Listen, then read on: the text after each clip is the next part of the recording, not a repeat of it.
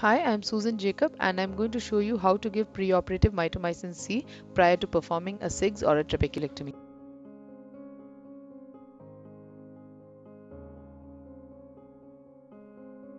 Now I've taken 0.2 ml of 0.02% mitomycin C in a 26 gauge needle and as you can see I have approached about 6 millimeters above the temporal limbus and snaked my way down through the conjunctiva uh, trying to avoid all major blood vessels and once I reach the 12 o'clock limbus I inject it. This is done 20 minutes prior to surgery and the aim is to give the mitomycin C at the site of the intended SIGS tunnel. I hope you found this useful. Thank you.